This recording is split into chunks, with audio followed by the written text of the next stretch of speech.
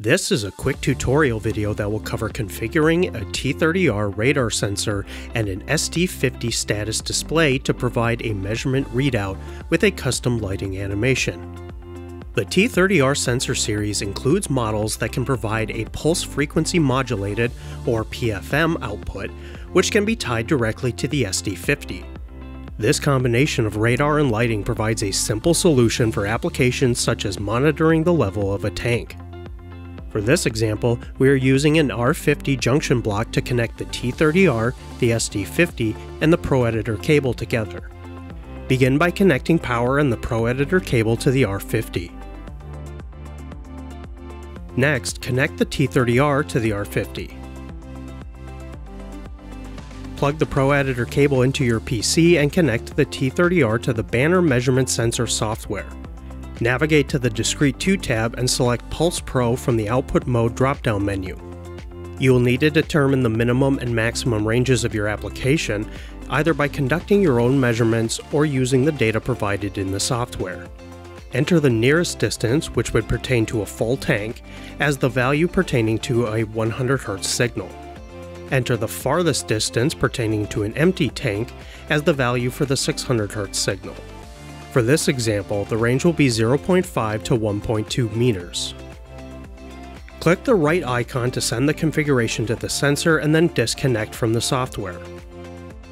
At this time, you must also physically disconnect the sensor from the R50 before connecting the SD50. Once the SD50 is powered up, open the Pro Editor software and connect it to the light. Select the Measure Mode icon.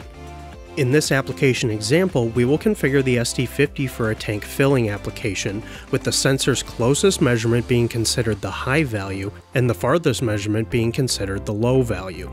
To do this, simply reverse the values for the PFM low and PFM high fields. We then want to show the fill level in percentage, so we will enter 0 and 100 into the output scale value fields and add a percent sign to the value label field.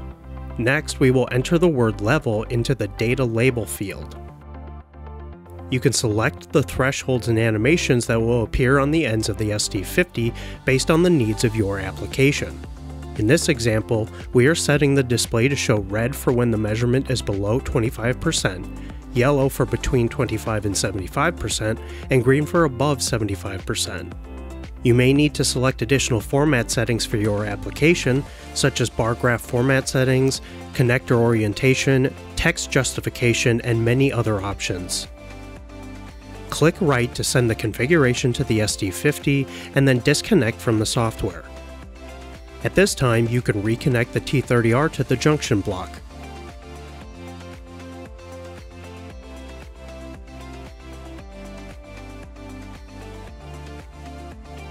That covers a basic setup of the T30R radar sensor with an SD50 status display using a PFM signal. For more information, reach out to Banner Engineering.